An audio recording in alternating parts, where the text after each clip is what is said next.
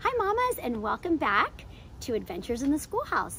It's spring and spring is a time of renewal and rebirth and for us that is what the butterfly symbolizes. So butterfly for us symbolizes renewal, strength, endurance, and of course total transformation. So it's only fitting that we created a butterfly life cycle STEM journal for our little learners and we're so excited our learners have had an opportunity to watch our tiny little caterpillars hatch out of their eggs and grow and eat and eat and eat. From there, they were able to study them each day and be little scientists and document their growth with their daily observation STEM journal.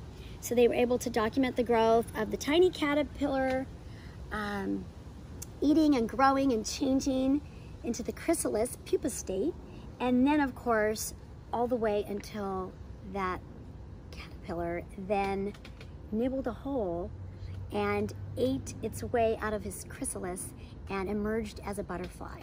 So all kinds of fun vocabulary in our STEM journal, math, science, favorite fun facts.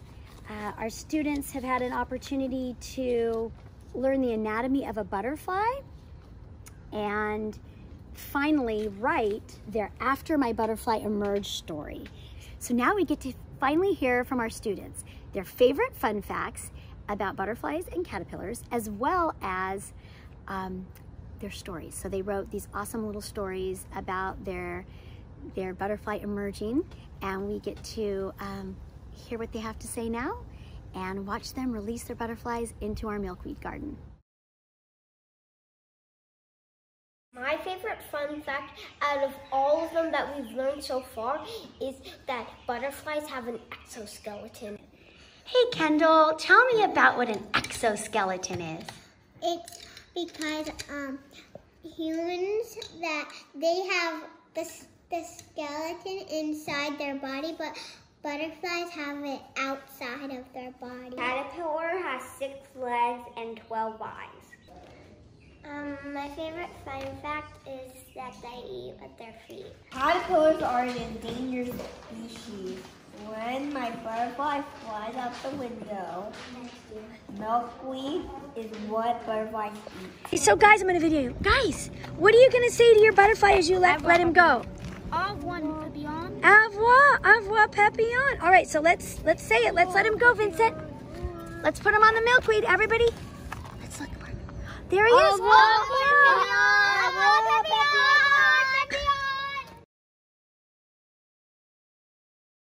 When my butterfly emerges, he will eat a hole and fly out and eat milkweed. The butterfly will eat a hole through the chrysalis. Next, we released it and it flew into the world. We hope you enjoy our STEM journal as much as we did, and you can download that at www.adventuresintheschoolhouse.com and join us on all our adventures in learning in the Little Red Schoolhouse.